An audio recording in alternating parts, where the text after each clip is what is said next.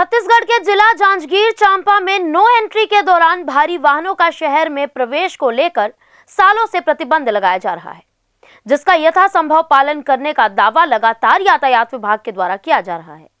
लेकिन ये केवल आश्वासन से ज़्यादा कुछ नहीं कहा जा सकता।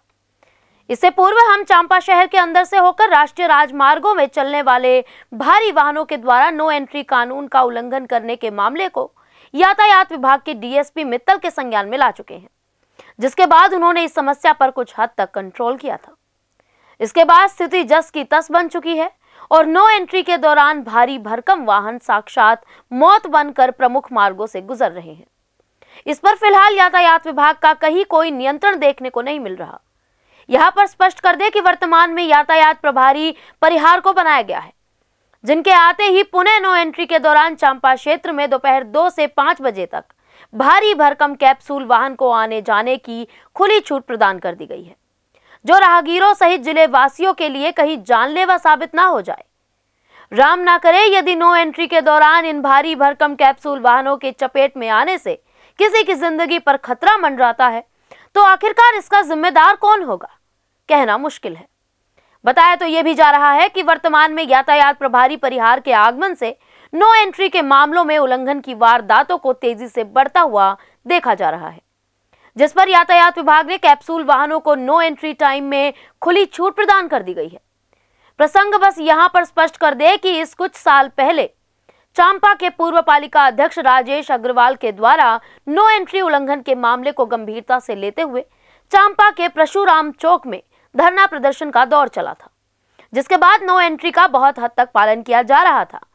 लेकिन बीते कुछ समय से पुनः यातायात विभाग की घोर लापरवाही इतनी बढ़ चुकी है कि सरेआम नो एंट्री टाइम में सैकड़ों वाहनों को आने जाने की खुली छूट प्रदान की जा चुकी है, जो कि कहीं किसी निर्दोष ज़िंदगी पर भारी ना पड़ जाए।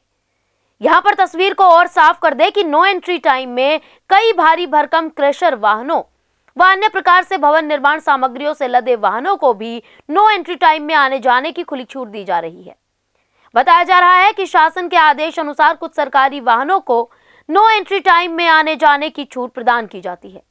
लेकिन कंक्रीट से लेकर क्रेशर से निकलने वाले वाहनों को किस श्रेणी में रखकर यातायात विभाग के द्वारा खुली छूट दी जा रही है, ये बड़ी जाँच का विषय भी है।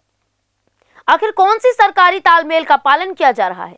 जिसके चलते नो एंट्री टाइम में भारी भरकम वाहन साक्षात यमराज बनकर निर्दोष लोगों को मौत का न्योता देते फिर रहे हैं। ये नगर वासियों के समझ से परे हो चला है, जिस पर सक्षम अधिकारियों को अभिलंब ध्यान दिए जाने की ज़रूरत है। वो कहते हैं ना कि कहीं देर ना हो जाए। इस जुमला के चरितार्थ होने के पहले नो एंट्री को नो एंट्री बनाने का नियम लागू किया जाए। जांजगीर चांपा से संवाददाता महेश शुक्ला की रिपोर्ट। ऐसे ही लेटेस्ट खबरें पाने के लिए बेल आइकन को क्लिक कर हमारे चैनल को लाइक शेयर एंड सब्सक्राइब करें धन्यवाद banquets lie hai incredible marriage palace Rajgharana and the finest banquet hall Jyoti Garden. World class catering, centrally air conditioned, lush green lawns, state of the art lighting. A perfect venue for wedding, launching and parties. Rajgharana and Jyoti Garden at JBD Banquets Enterprise.